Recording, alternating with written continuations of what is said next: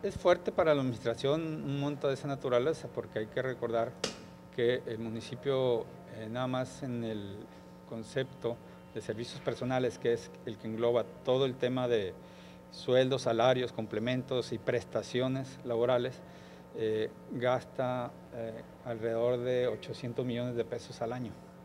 Y a eso le agregas todavía el tema de pensiones, eh, son más de mil millones de pesos al año, que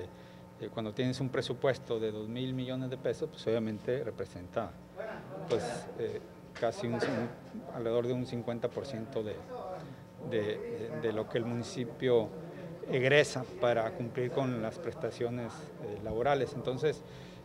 nosotros estamos a favor de que se les mejoren las condiciones, pero también tenemos que mantener un equilibrio en el tema de las finanzas y que el año que entra pues, eh, formular el presupuesto no será nada difícil. Digo, no será nada fácil, pero